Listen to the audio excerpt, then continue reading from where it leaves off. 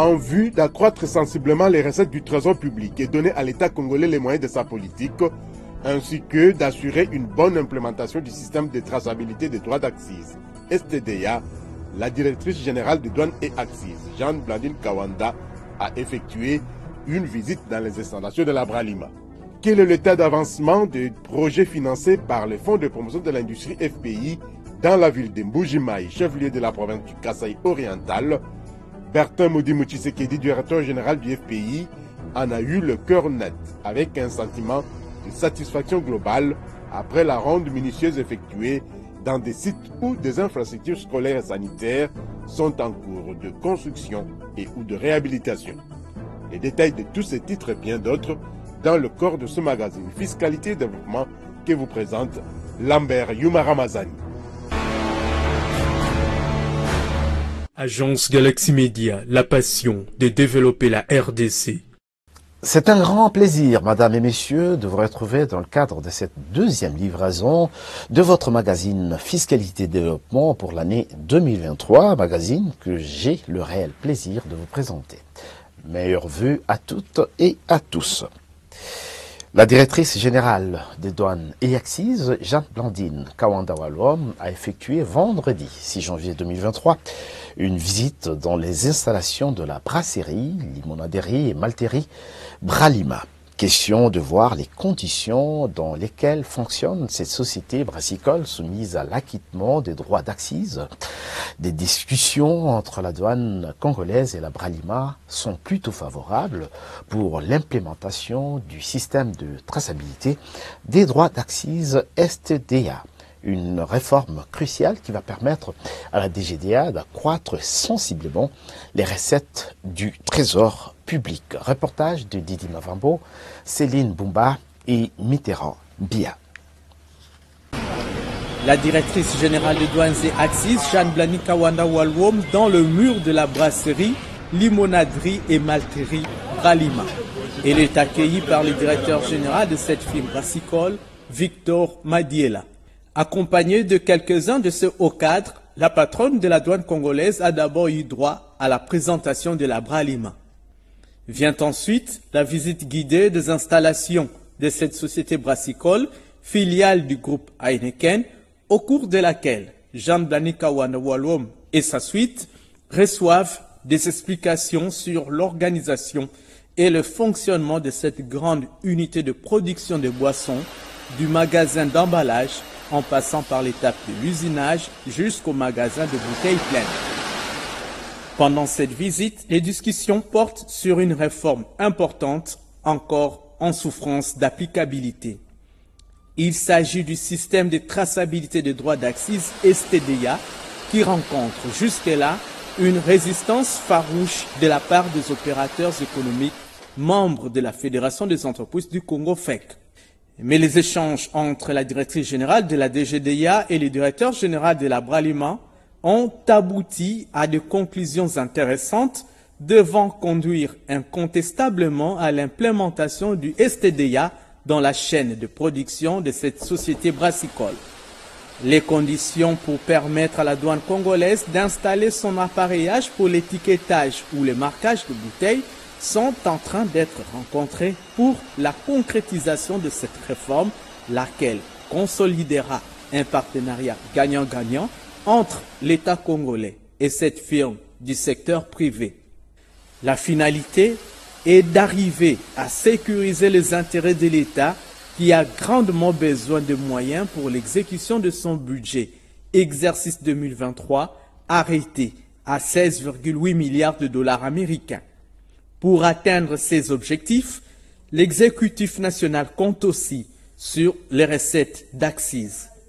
En République démocratique du Congo, la liste de produits d'Axis comprend les alcools et boissons, les tabacs fabriqués et autres produits ou instruments servant à fumer, les savons, produits cosmétiques et d'entretien, les véhicules, les produits pétroliers, lubrifiants et huiles de graissage, les services de télécom, l'accès à l'Internet, pour ne citer que cela.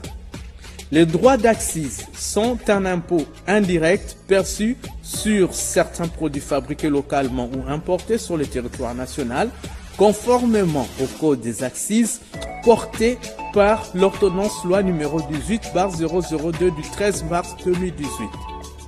Cette rencontre entre la douane congolaise et la Bralima a surtout permis aux deux parties d'harmoniser leurs vues sur l'implémentation du système de traçabilité des droits d'accise STDA dans la logique de consolidation du partenariat public-privé, on tend sûrement vers la mise en œuvre de cette réforme cruciale pour les trésors publics congolais. Plus de 700 véhicules importés passés en contrebande à Lumbashi, c'est ce qui ressort, vous le savez, de l'opération Coup de poing menée en novembre de l'année dernière par la brigade douanière du Katanga. De l'argent qui a échappé au trésor public aux grandes dames du directeur général de la DGDA. En effet, Madame Jeanne Blandine Kawanda voudrait voir les importateurs des automobiles à Lumbashi passer par des voies officielles. C'est dans cet ordre d'idées que le directeur provincial de la DGDA Katanga, M. Roni Kalala, a chargé Narcisse Pambo, sous-directeur de la brigade douanière du Katanga, à tisser langue avec les tenanciers des parkings des véhicules qui ont du mal même à s'acquitter des amendes transactionnelles à l'issue des procès-verbaux, disposés désormais à déclarer correctement les véhicules importés, les revendeurs de Lumbashi ont tout de même exprimé leur difficulté à être corrects avec le fisc. Mais nous allons aussi jouer le rôle d'amener nos amis au respect de ces civilismes fiscales. C'est-à-dire que nous allons aussi, quand vous allez commencer à déceler certains parkings pour signer des protocoles d'accord, là on va un peu s'associer à vous pour qu'il n'y ait pas de problème, hein? qu'il n'y ait pas de problème des gens que les irresponsables vraiment soient conscientisés pour euh, prendre leurs responsabilités. Parce que nous sommes appelés à encourager tout le monde à payer à ces cultures euh, fiscales.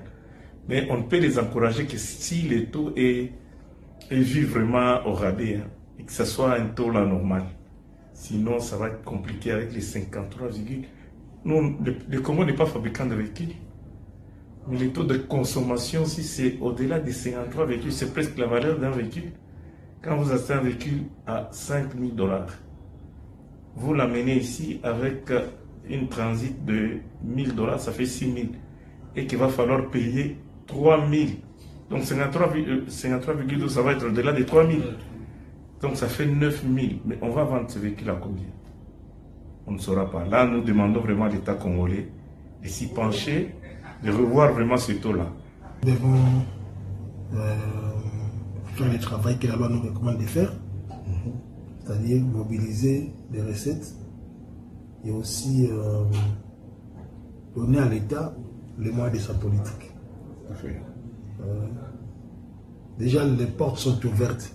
On vous a dit que dès que vous avez une déclaration en douane, si vous voulez vous rassurer que la déclaration est authentique, venez vers les bureaux de douane pour que nous puissions vérifier dans les systèmes. Et puis, euh, vous serez sécurisé dans la vente de vos différents véhicules.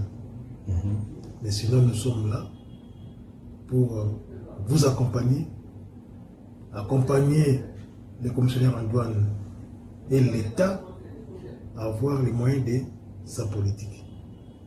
Donc, euh, vous avez exprimé les soucis selon lesquels les taux tarifaires seraient trop élevés sur les véhicules. Mais cette question ne peut être traitée à notre niveau. Parce que les tarifs constituent une loi. Il n'y a que la commission tarifaire qui peut siéger quant à ce et transmettre votre souci au Parlement au travers du gouvernement de la République. Et s'il appartient au Parlement, suivant la politique douanière mise en place, de revoir les taux, mais pas à la douane de faire ce travail. C'est à vous d'exprimer votre souci hein, à la haute hiérarchie du pays pour que vous puissiez travailler dans des meilleures conditions. Parce que vous avez dit que si le taux est trop bas, vous payerez la douane sans tricher. Et là, moi, je vous encourage, nous devons abandonner les antivaleurs, travailler correctement pour euh, redorer l'image de notre pays. Voilà ce que je peux dire Lutte contre la corruption, la malversation financière et le détournement des fonds publics. Voilà en gros le combat au quotidien de l'inspection générale des finances, IGF, conduite de main de maître par l'inspecteur général des finances, chef des services, Jules Allingate Kay. Pour comprendre son combat, je vous convie à suivre cet élément. Ah, bah j'étais. Mais les Ah, ah, Société Mayuya Import-Export. Mon Dieu.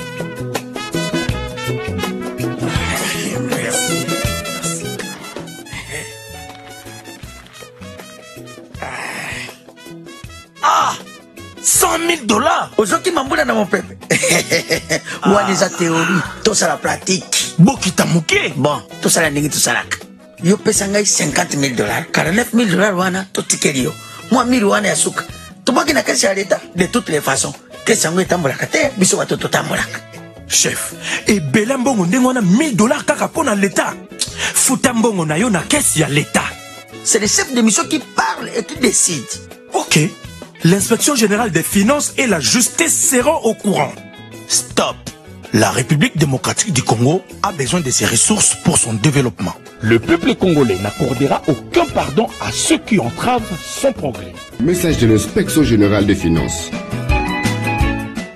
Faisant suite à son combat sur la patrouille financière, l'inspection générale des finances, IGF, annonce l'intensification de son combat en cette année 2023, peut-on lire sur son compte Twitter. Il s'agit là du contrôle, a priori, qui vise à empêcher les détournements des deniers publics, ce qui n'est pas à confondre, bien entendu, avec la cogestion. Le tout sous l'œil regardant du président de la République, un morceau dur qui s'annonce pour les criminels financiers. En République démocratique du Congo, le gouvernement central a classifié jusque-là trois minéraux comme étant des minéraux stratégiques conformément au code minier en vigueur. Il s'agit notamment du cobalt, du germanium et du coltan. Pour Jérôme Sekana, ancien inspecteur des mines et stratège en exploitation des ressources naturelles, eh bien, le gouvernement congolais a intérêt, vu l'environnement économique mondial actuel, à allonger la liste des minerais stratégiques et surtout à développer de nouvelles filières industrielles des mines dans notre pays. Nous vous proposons donc de suivre son analyse sur le coltan et le fer. Euh, le fer, pourquoi? Parce que euh, l'acier est composé à 98% euh, de minerais de fer et que avec euh, l'acier, on fait tout. On trouve l'acier dans des immeubles, on trouve l'acier dans des bateaux, dans des trains. Avec l'acier, on peut arriver à ouvrir des grands chantiers, euh, construire des grandes infrastructures portuaires, aéroportuaires. Et je voudrais suggérer à notre gouvernement d'attirer l'attention sur une grande réserve que nous avons dans l'ex-province orientale, une réserve évaluée à 20 milliards de, de, tonnes métriques. Il est évident que Rio Tinto, une grande firme qui exploite le fer à travers le monde, était venu ici, il y avait quelques petites complications. Il est temps qu'on puisse lever l'option de pouvoir faire venir cette firme au besoin euh, faire venir euh, les Chinois, parce que les Chinois, euh, comme vous le savez, maîtrisent bien le minerai de fer. Au jour d'aujourd'hui, la Chine est devenue l'usine du monde. Voilà pourquoi je suggère à ce que mon gouvernement puisse se pencher là-dessus, d'autant plus que avec l'exploitation de fer, on peut arriver à renforcer l'intégration économique qui est très très fondamentale pour le moment pour vraiment permettre à notre pays, à nos provinces de s'interconnecter, c'est-à-dire construire des grandes infrastructures ferroviaires, par exemple, qui partiraient de Banana jusqu'à Goma, de, de, de, Sakania jusqu'à Mbongo, par exemple, de sorte que euh, le pays échange avec lui-même. Les provinces puissent arriver à produire et à consommer congolais. C'est pour cette raison, je souhaite, je sais très bien que le fer ne coûte pas cher, c'est dans les 116 dollars la tonne métrique, mais c'est un minerai extrêmement important. La révolution industrielle ne pouvait pas réussir en Europe sans la présence, bien, bien sûr, du fer. Je voudrais également qu'on développe la filière des colombo-tantalites. Vous avez là-dedans la colombite, mais également la tantale. Ces deux minéraux ont euh, la magie de pouvoir stocker euh, euh, et libérer l'énergie. C'est pour cette raison qu'on utilise les coltans dans la fabrication de notamment des ordinateurs, des téléphones portables, ainsi de suite, et même dans des équipements sophistiqués qu'on trouve au niveau de l'astronomie. Alors, ce minerai est le minerai le plus cher pour le moment, des minéraux stratégiques que nous avons dans notre pays. Une tonne métrique euh, du colombo tantalite ou du coltan, si vous le voulez bien, euh, coûte euh, à peu près 114 000 dollars américains. Alors que la tonne métrique du cobalt nage entre dans les 51 et 52 000 dollars américains. Vous comprenez pourquoi nos voisins nous font la guerre. Le minerai des coltans, si nous prenons des dispositions, comme je l'avais dit encore la fois passée, il est question que le gouvernement puisse lever l'option d'interdire l'exploitation de ces minéraux euh, artisanalement. Depuis 1982, année au cours de laquelle le maréchal Mobutu avait libéralisé l'exploitation artisanale dans notre pays, le bilan est négatif. Ça ne sert à rien de continuer à, mais quand bien même on gratte, hein, ah, il, y a, des morts, il y a beaucoup de, dégâts là-dessus. Euh, les enfants les, qui exploitent, tout ça, c'est le minerai du sang, ça, nous, ça tue beaucoup de problèmes. Et, étant donné que la plupart des sociétés, des firmes euh, qui travaillent dans les télécommunications ont installé des fours à Kigali, à Kampala, pour avoir accès de manière frauduleuse, malheureusement, euh, à ce minerai-là, il y a moyen d'interdire de, de, ces minéraux dans l'exploitation artisanale et ouvrir, euh, faire un appel d'offres pour les grandes sociétés qui peuvent venir exploiter ces minéraux de manière industrielle. Nous avons plus de 60% des réserves des coltans du monde.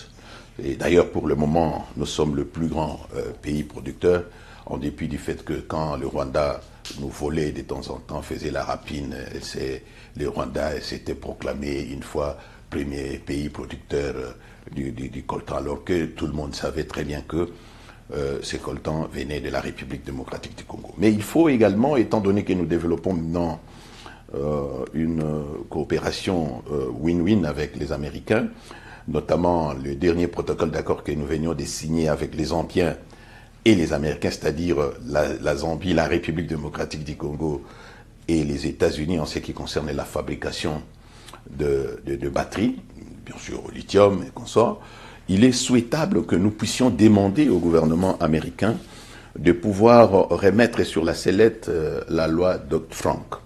C'est une loi qui permet la traçabilité, parce que la plupart des sociétés qui exploitent euh, ou bien qui, achètent clandestinement, qui arment même euh, les groupes armés qui se trouvent de l'autre côté, donner des munitions, de l'argent et tout ça, ce sont des sociétés de télécom, des sociétés des multinationales d'origine américaine et d'origine britannique.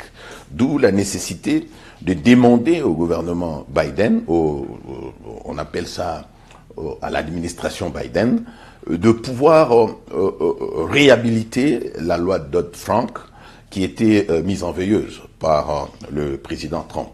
Donc, quand vous prenez ces deux minéraux, et que de manière stratégique au niveau de la République démocratique du Congo, nous essayons d'asseoir une nouvelle politique euh, dans les cinq ans qui viennent, nous osons croire que nous pouvons arriver à non seulement à stabiliser euh, la partie est de notre pays, qui est la paix, parce qu'en ce moment-là, ceux qui exploitent frauduleusement, qui achètent frauduleusement, qui se trouvent de l'autre côté de notre frontière, pourront venir accéder minéraux de manière le plus, euh, euh, le plus officiellement du monde, mais également nous pouvons arriver à renforcer l'intégration. Voilà pourquoi nous ne devons pas nous ouvrir plus aux pays de l'Est, quand bien même nous devenons membres de cette euh, communauté sous-régionale, mais nous devons, avant de nous ouvrir à d'autres organisations sous-régionales, renforcer ce qu'on appelle l'intégration économique à l'intérieur du territoire national. Si on arrive à faire cette intégration économique, d'abord, nous allons nous souder davantage, nous allons nous retrouver comme une nation et nous allons euh, effectivement avoir beaucoup d'argent, surtout euh, notre budget, étant donné que maintenant là, nous avons un budget de 16 milliards 800 euh, millions de dollars américains. Nous applaudissons de demain, mais ce n'est que le début. la colonne vertébrale euh, de notre pays, le boulevard flottant de notre pays sur le majestueux fleuve Congo et le chemin de fer. Il faut réhabiliter la SNCC, il faut euh, rendre navigable euh, pendant toutes les quatre saisons le majestueux fleuve Congo, de sorte que les minéraux qu'on exploite au Katanga ne puissent pas sortir par l'Angola ou ne puisse pas sortir encore par la Zambie, mais puisse sortir par Banana. Ainsi, nous allons donner une valeur économique, une valeur ajoutée et un sens économique au port de Banana. Il ne suffit pas de construire un port en eau profonde de Banana, ce n'est pas pour évacuer les maniocs ou les maïs, ce n'est pas pour évacuer les bois. Il faut un tonnage consistant. Or, ce tonnage-là, on peut le trouver en exploitant la mine euh, de, fer, comme je vous ai dit, dans la, Grande Orientale. On peut également donner de la valeur ajoutée et, et du sens à ces ports en eau profonde de bananas en charriant, comme par le passé, c'était ça la, vision de Belge, tous les minéraux qu'on exploitait dans les grands Katanga, il y a plus de 2 millions de tonnes de cuivre que nous exportons ces derniers temps, eh bien, et plus de 100 000 tonnes de, quoi de, cobalt, eh bien, si le gouvernement arrive à réhabiliter les infrastructures ferroviaires, euh, navales et routières ou à l'intérieur du territoire national, eh bien les millions de dollars que nous dépensons, que nous donnons à nos voisins, ça peut servir encore à réhabiliter des petites et moyennes entreprises à l'intérieur du territoire national. Il faut peut-être qu'à la rentrée parlementaire, nous allons proposer une loi. Nous allons demander à un député de pouvoir endosser cette loi sur l'intégration économique de la République démocratique du Congo. Et c'est dans ces projets de loi-là que nous allons devoir expliquer le mécanisme. Ce faisable. Il y a certaines choses que nous pouvons faire qui ne demandent pas beaucoup d'argent. Parce que aller euh, rencontrer Rio Tinto à, New York, aller euh, euh, rencontrer les Chinois à Pékin, qu'ils viennent faire le boulot que je, je, suis en train de, vous expliquer ici, ça ne nécessite pas des millions. Mais ça nécessite une stratégie, une approche. Demander aux Américains de pouvoir euh, remettre sur la sellette euh, euh, eh bien, la loi Dodd-Frank, ça ne nécessite pas de l'argent. Donc il y a certaines choses, parfois nous passons à côté de l'essentiel, tout simplement parce que nous nous intéressons à des choses qui ne sont pas tellement prioritaires. La priorité du gouvernement aujourd'hui, c'est de pouvoir trouver les moyens de sa politique pour répondre aux attentes de la population. L'arrivée du Saint-Père en République démocratique du Congo est prévue pour la fin de ce mois de janvier. C'est donc du 31 janvier au 3 février 2023 que le pape va séjourner en République démocratique du Congo. Et pour ce faire, le Premier ministre Samalou Kondé a effectué une visite d'inspection des travaux d'aménagement des sites choisis pour les activités du souverain pontife à Kinshasa. Le condensé des activités de la semaine du Premier ministre, c'est dans cet élément préparé par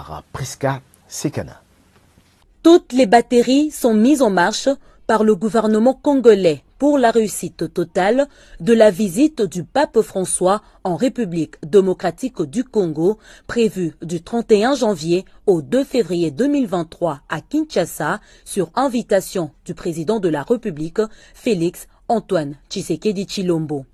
C'est dans cette optique que le Premier ministre Jean-Michel Sama Lukonde Kienge s'est rendu ce jeudi 5 janvier dans les sites choisis pour accueillir les différentes activités du souverain pontife, notamment les célébrations eucharistiques et d'autres rencontres importantes avec le jeune et le religieux.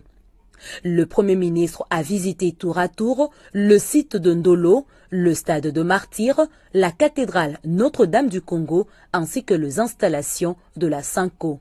Depuis euh, le mois de décembre, euh, nous avions reçu confirmation euh, de l'arrivée du pape le 31 janvier de cette année 2023 Et donc on a visité tous les sites, y compris justement la cathédrale et la euh, pour nous assurer ici aussi que euh, les travaux qui sont prévus dans le cadre de cette visite se poursuivent et seront livrés euh, dans les temps. En fait, ici, c'est beaucoup plus une visite que nous faisons pour respect de calendrier et de, de chronogramme. Juste après cette visite d'inspection de travaux d'aménagement des sites choisis pour les activités du Saint-Père à Kinshasa, le chef du gouvernement, Jean-Michel Samaloukonde Kienge, a reçu en audience à la primature Monseigneur Ettore Balestrero, nonce apostolique, qui était accompagné de Monseigneur Carlos Ondaka, vicaire général de Kinshasa, et de Monseigneur Donancien Cholet, chapelain du pape et secrétaire général de la Sanko. Il était question au cours de leurs échanges de confirmer non seulement la visite du souverain pontife en RDC, mais aussi et surtout d'échanger avec le Premier ministre sur la réussite totale de la visite du pape François en République démocratique du Congo. Et d'ores et déjà, tout le monde est à l'accueillir quand il viendra de l'aéroport de dans l'après-midi vers, vers Russie, vers euh, pour rencontrer au palais de la nation le président de la République. À son arrivée, après la visite de courtoisie au président de la République, Félix Antoine Tshisekedi Chilombo, le pape François rencontrera les autorités, la société civile et le corps diplomatique au Palais de la Nation et y prononcera un discours avant de poursuivre un long programme chargé pendant son séjour dans la capitale congolaise où aucun pape n'a plus foulé le sol depuis la visite de Jean-Paul II dans les années 1980. Sachez par ailleurs que le Premier ministre Jean-Michel Samalukonde Kingé a participé le samedi 7 janvier 2023 à la messe d'action de grâce organisée en la cathédrale Notre-Dame du Congo à Kinshasa par l'Église catholique pour recommander à l'éternel Dieu l'esprit de sa sainteté. Le pape émérite Benoît XVI rappelé auprès du Seigneur. En l'absence de cardinal Fridolin Bongo qui s'était rendu à Rome pour participer aux obsèques de Benoît XVI, cette célébration eucharistique a été officiée par le nonce apostolique Monseigneur Ettore Balestrero. Le directeur général du Fonds de promotion de l'industrie, Bertin Mujimu lors de sa récente visite dans la ville de Mbujimaï, chef-lieu de la province du Kasaï oriental, s'est enquis de l'état d'avancement des projets financés par son institution dans cette partie du pays, notamment sur des sites où des infrastructures scolaires et sanitaires sont en cours de construction ou de réhabilitation dans le cadre du programme présidentiel accéléré de lutte contre la pauvreté et la réduction des inégalités. Au terme d'une ronde minutieuse, eh bien, Bertin Moudjimou Tshisekedi a confié que le constat global est satisfaisant. Le directeur général du FPI a par ailleurs exhorté les entreprises exécutantes à accélérer les travaux de finition dans l'objectif d'utiliser ces infrastructures scolaires et sanitaires dans les tout prochains jours. Le patron du FPI a aussi visité le site devant abriter la centrale photovoltaïque de 10 MW avec 5 MW de stockage à Chipuka. Nous sommes là à 20 km de Mbujimai, un reportage de la cellule de communication du FPI. Font des promotions de l'industrie votre partenaire privilégié pour la réussite de vos projets. Le projet de plantation de la centrale photovoltaïque de Chipoka à une vingtaine de kilomètres de la ville de Mbujimaï dans le Kassai oriental qui devra produire 10 MW pour alimenter la population de Mbujimaï en énergie électrique la journée avec une possibilité de produire 5 MW la nuit sans compter le réseau devant alimenter la ville de en énergie électrique est bel et bien en cours de mise en œuvre dans la province du Kasaï oriental.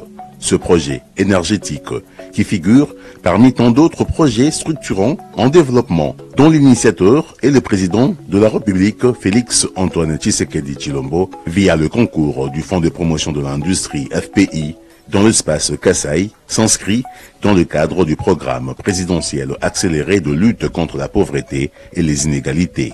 On rappelle que le FPI a été enrôlé comme autorités contractantes dans la mise en œuvre de ces projets. Lors de sa descente sur le terrain, le directeur général Robertin Moudimou Tshisekedi a constaté que le site de Tipuka, d'une superficie de 80 hectares déjà aménagé, a commencé à recevoir le premier lot des matériels constitués de supports métalliques de montage des modules solaires. Sur ce site, les travaux devaient commencer au mois de janvier 2021 pour une exécution de 12 mois, mais seulement les travaux se sont enlisés à la suite du retard connu à l'acheminement des équipements. La réalité est que 52 conteneurs des équipements sont arrivés à Lubumbashi dans les Hauts-Katanga depuis fin août 2022 et y demeurent encore bloqués faute d'acheminement par la Société nationale des chemins de fer du Congo, la SNCC, à Mbujimaï via Moneditu.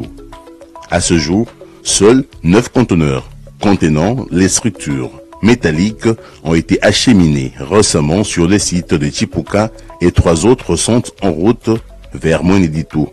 Donc, pour l'instant, 40 conteneurs des équipements traînent encore à Lubumbashi. C'est ce qui explique le grand retard connu pour achever ce projet énergétique. Le directeur général du FPI, Bertrand Moudimou Tshisekedi, a promis de faire diligence pour faire face à cette situation.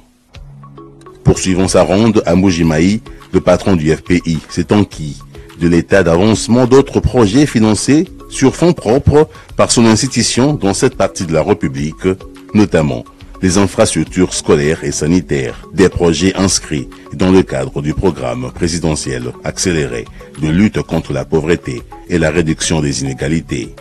Nous avons constaté l'évolution des travaux, ça évolue bien, mais nous voulons plutôt insister sur euh, la fin des travaux. Des recommandations ont été faites parce que vous savez que les écoles et les hôpitaux jouent un rôle important dans le rôle social de ces activités et qu'il faut que la population puisse en jouir pour véritablement répondre à la préoccupation du président de la République de lutter contre la pauvreté et contre les inégalités, essayer d'améliorer les niveaux d'hospitalisation pour que les gens, en tout cas, aient une espérance de vie importante et que l'école aussi, qui est la base de la formation et de l'éducation, soit en tout cas mise à la disposition de la population. Avant de regagner Kinshasa, la capitale, le directeur général du FPI a visité un immeuble acquis par dation en paiement auprès des établissements Mundos il s'agit d'un bâtiment en étage situé en plein centre d'affaires de la ville de Mbujimaï, dans la commune de Dibindi. Le propriétaire de cet immeuble n'a pas pu réaliser ses engagements auprès du FPI et par suite de l'opération de recouvrement et à l'issue d'une bataille judiciaire, le promoteur du projet non réalisé a dû céder cet immeuble qui est devenu désormais une propriété du Fonds de promotion de l'industrie.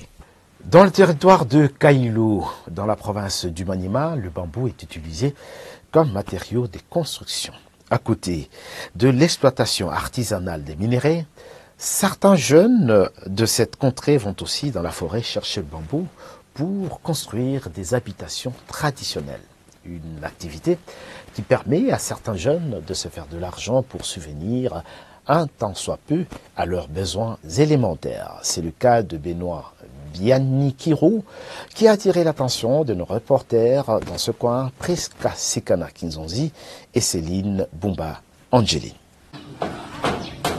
Venu de Goma, dans le Nord Kivu, il y a cinq ans, à la recherche d'une vie meilleure, Benoît Bianikiro, la trentaine révolue, s'est spécialisé ici à Kailo, province du Maniema, dans la construction des clôtures et maisons en bambou, communément appelées matete. Cette plante est utilisée comme matériau de construction. Ce matin, avec sa machette, un morceau de bois et une moustiquaire achetée à 5000 francs congolais, Benoît érige avec du bambou la clôture de cette parcelle. Il commence par découper en deux parties la tige de bambou récupérée dans la forêt. Ensuite, il le rassemble en colonnes pour faire de grandes sections tressées avec la moustiquaire. En quatre ans d'activité, ce travail a permis à Benoît de subvenir un tant soit peu à ce besoin élémentaire et de payer aussi sa scolarité. Aujourd'hui, je suis en sixième des humanités. Ce travail me permet de payer ma scolarité en premier, ensuite de nourrir ma famille. Il m'arrive de gagner 50 000 francs congolais dans ce travail et cela m'aide beaucoup. Facilement transportable et souple, le principal problème à affronter avec le bambou, c'est la durabilité du matériel régulièrement rongé par les insectes. Au-delà de cette difficulté, son procuré reste également un casse-tête pour les habitants de Kailo. Nous avons du mal à nous procurer ce bambou. Il faut faire au moins 15 km à pied dans la forêt avant d'en trouver. Une fois les bambous coupés dans la forêt, on nous vend ça de façon morcelée.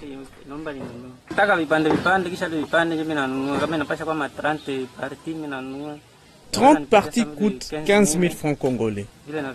J'achète la moustiquaire à 5 000 francs.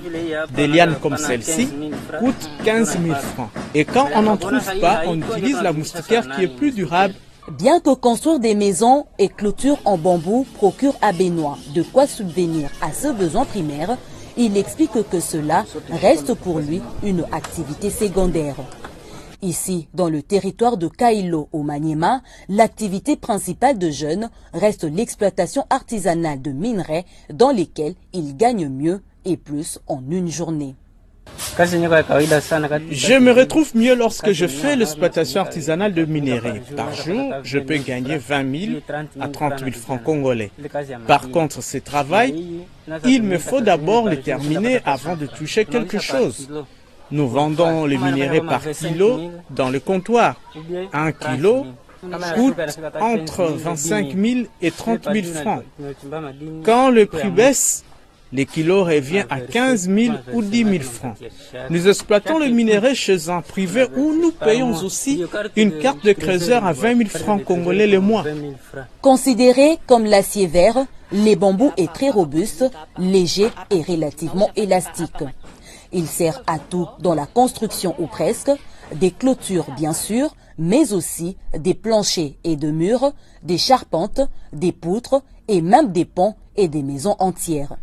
On peut aussi en fabriquer des ustensiles de cuisine et des objets de décoration, comme c'est le cas en Chine, où cette plante joue un rôle capital dans le développement de la culture et la civilisation chinoise, ainsi que dans son économie rurale et industrielle. Il serait également important pour le Congolais de valoriser cet acier vert qu'est les bambous qu'on trouve aussi dans nos forêts.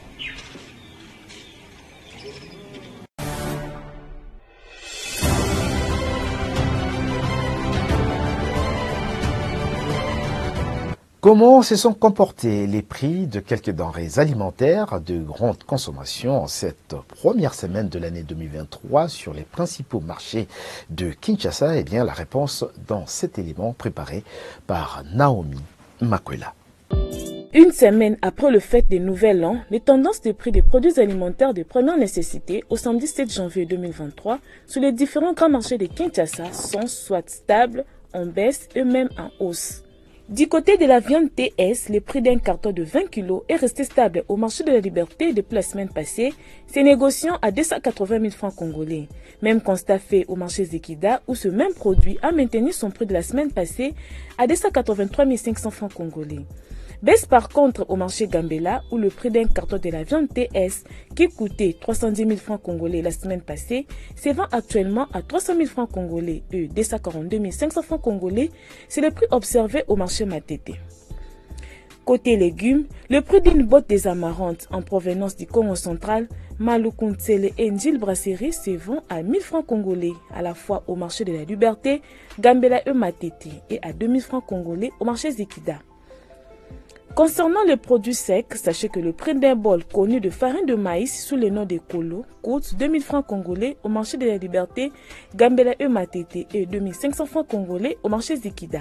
Pour la farine de manioc, le prix d'un écolo se négocie à 1200 francs congolais au marché de la Liberté et Matete.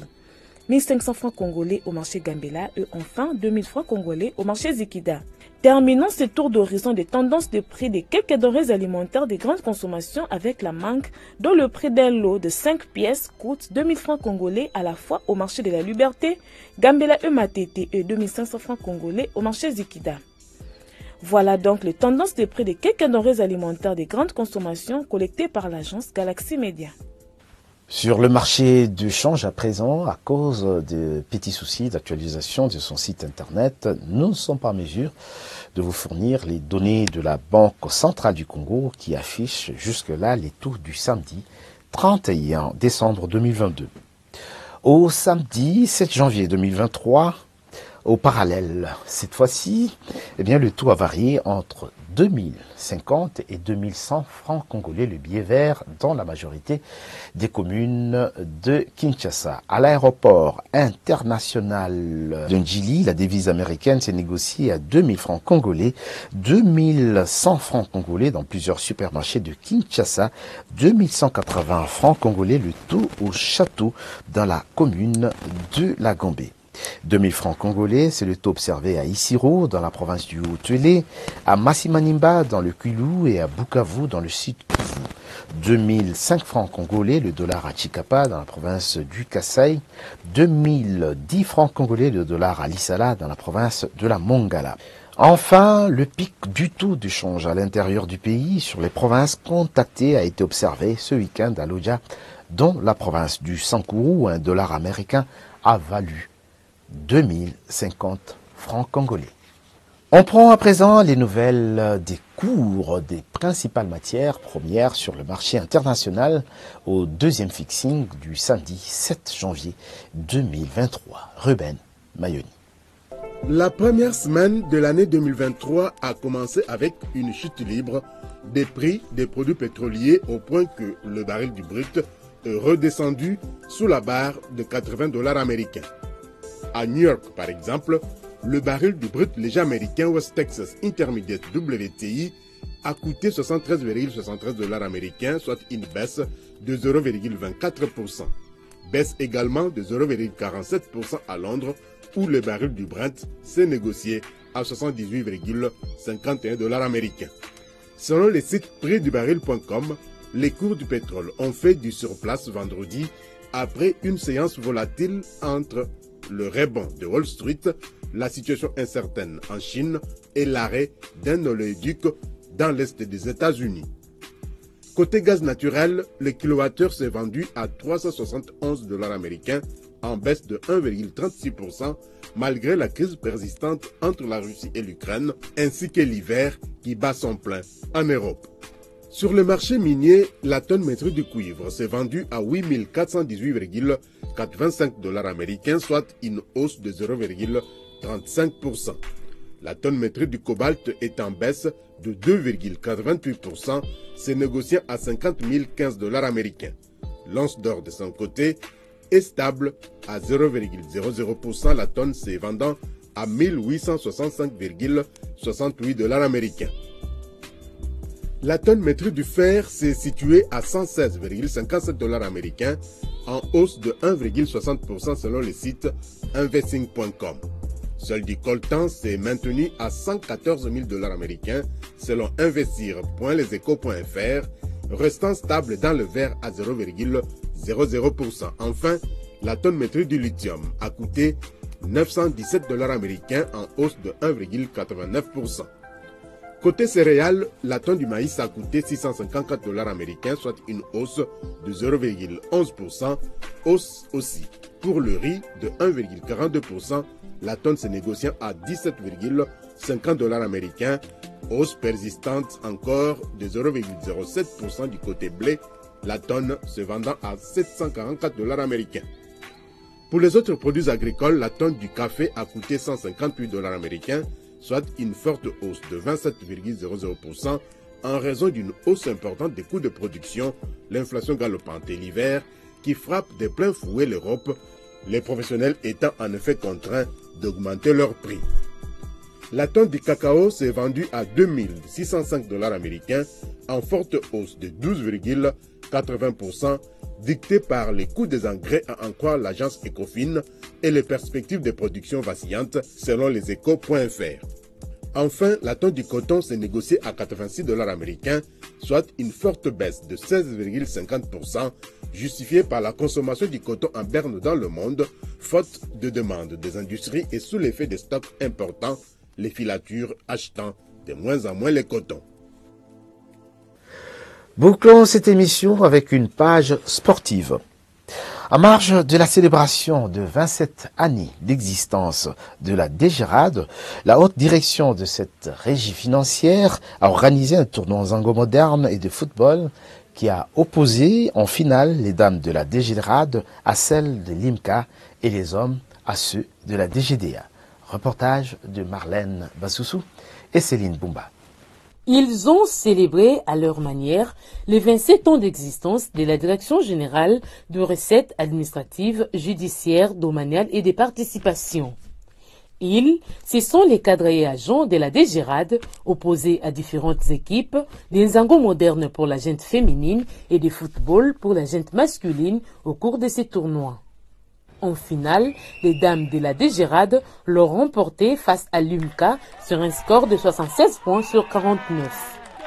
Loisir pour la DGRAD et mérite pour l'IMCA, ces résultats n'ont pas laissé indifférente les déformations. C'est une joie vraiment immense pour la DGRAD. Nous avons gagné, nous avons remporté la victoire aujourd'hui contre l'équipe de l'IMICA. On a gagné. C'est notre joie. Que le gouvernement congolais soit à l'aise, qu'il nous mette tout en jeu. Si nous faisons les sports, c'est parce que en, mobilisant les recettes, nous marchons même à pied dans les coins et recoins de la ville pour chercher les recettes de l'État. Et cela demande à ce que l'homme ou la femme soit en bonne santé. C'est vraiment un, un plaisir, c'est un honneur à notre regard. Il y avait huit équipes mais nous sommes arrivés jusqu'à la fin. Ça, c'était la finale. Nous sommes arrivés jusqu'à la fin et c'est vraiment... Donc, je marque même les mots. Occasion pour Émilie Tulumba, coordonnatrice au secrétariat du directeur général de la DGRAD, au nom de la régie, de décerner un trophée et un diplôme de mérite à l'IMCA pour son implication sans faille dans ce tournoi. Je suis très heureuse de voir que notre équipe a gagné je félicite les deux équipes et je suis reconnaissante à IMCA d'avoir gardé la sportivité jusqu'à la fin. Et je remets le brevet, je pas au capitaine. Hein. Félicitations.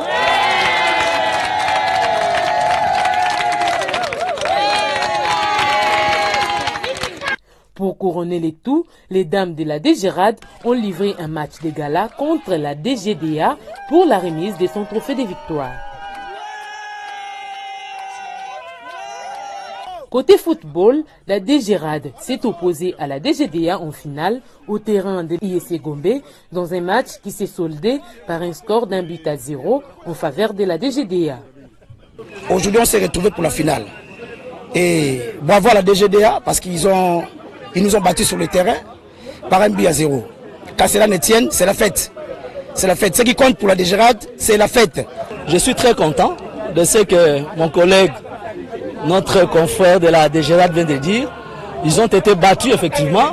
Ils savent, d'habitude, nous avons l'habitude de les battre.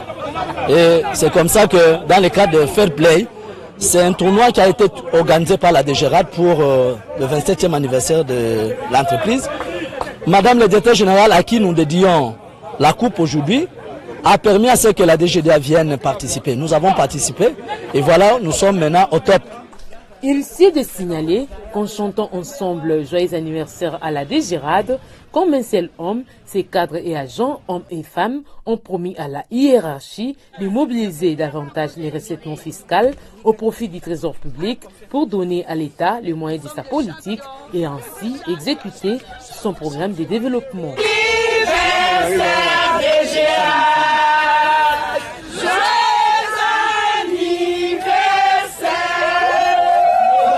C'était un plaisir pour moi de vous présenter cette deuxième livraison de votre magazine Fiscalité et Développement pour l'année 2023. Eh bien, merci de nous avoir suivis depuis la commune de Katouba à Lubumbashi. Fiscalité et Développement revient bientôt avec le même et réel plaisir.